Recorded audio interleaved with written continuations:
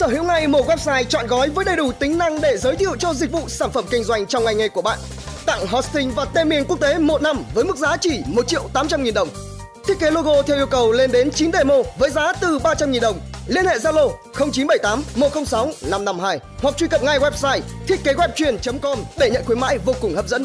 Thông tin chi tiết chứa trong mô tả và comment nổi bật đầu tiên ngay dưới video này.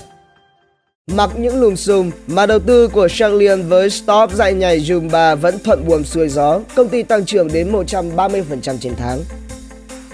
Nhà sáng lập Lamita, Thủy Linh cho biết các thủ tục để ký kết đầu tư với Shanglian và Sang Hưng đã đi đến giai đoạn cuối cùng.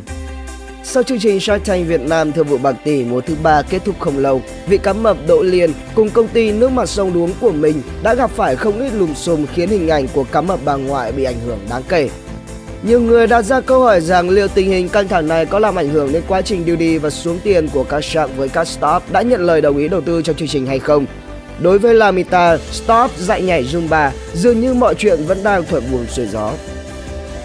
Xuất hiện trong Shark Tank Việt Nam thời vụ bạc tỷ năm 2019 tự mùa thứ ba, Thùy Linh hay còn gọi là Linh Lamita, CEO của Lamita Dance Fitness mang theo sứ mệnh lan tỏa năng lượng tích cực qua những điệu nhảy Zumba và đã nhận được cái gật đầu từ Sang Liêm và Sang Hưng, đồng ý đầu tư 10 tỷ đồng cho 35% cổ phần công ty.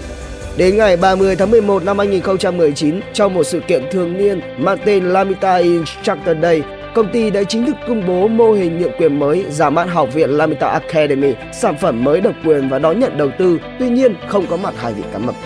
Trao đổi nhanh với phóng viên, nhà sáng lập Thùy Linh cho biết, hiện tại Lamita đã nhận được rất nhiều lời mời đầu tư và đang trong quá trình thẩm định. Đối với hai Shark, các thủ tục cuối cùng để đi đến ký kết hợp tác đầu tư đã gần như hoàn thiện, tỷ lệ cổ phần vẫn là 35%.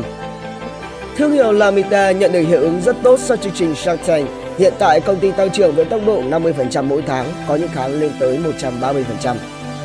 Cũng theo ghi nhận tại sự kiện, cơ cấu nhân sự trong bộ máy điều hành của Lamita đã có sự thay đổi. Nhà sáng lập Thùy Linh chỉ giữ chức chủ tịch hội đồng quản trị công ty, như chiếc ghế giám đốc điều hành cho một vị lãnh đạo khác. Giải thích về điều này thì founder Linh chia sẻ, Linh với vai trò chủ tịch nhưng vẫn là giám đốc của Học viện Lamita Academy, chịu trách nhiệm chính về sản phẩm, chuyên môn cũng như vận hành Lamita Academy. Còn toàn bộ việc điều hành cho hoạt động kinh doanh cũng như các hoạt động khác sẽ do một lãnh đạo khác đảm nhiệm. Với việc ra mắt mô hình nhượng quyền mới cam kết chia sẻ dựa trên lợi nhuận, tỷ suất lợi nhuận kỳ vọng đạt từ 250 đến 300% sau 36 tháng. Nhà sáng lập đặt mục tiêu đến cuối năm 2020 sẽ mở rộng nhượng quyền trên toàn quốc, nâng tổng số điểm tập từ 68 ở thời điểm hiện tại lên con số 150. Trong một sự kiện trước đó, thì các lãnh đạo của Lamita cũng tự tin có thể gia tăng tỷ lệ khách hàng ở lại từ 65% lên khoảng 75 cho đến 80% và trở thành người dẫn đầu ngành. Tây Dương theo trí đức trẻ cafebi.vn, độc đá TV tổng hợp vừa đưa tin. Lắng nghe những câu chuyện kinh doanh, những bài học xây dựng thương hiệu, trau dồi kiến thức khởi nghiệp để tôi luyện bản thân mỗi ngày.